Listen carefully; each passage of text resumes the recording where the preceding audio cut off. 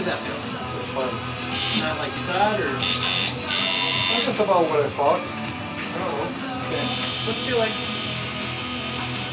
Like you stuck with him. I know it is.